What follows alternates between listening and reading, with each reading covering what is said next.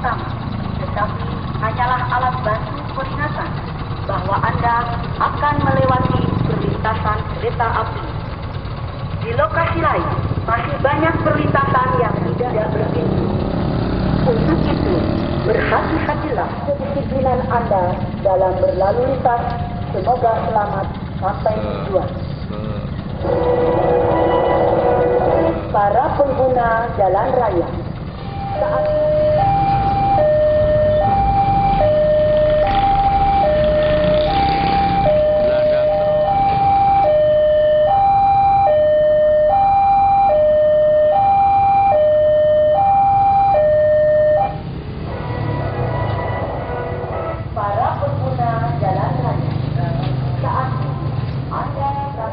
perlu Anda ketahui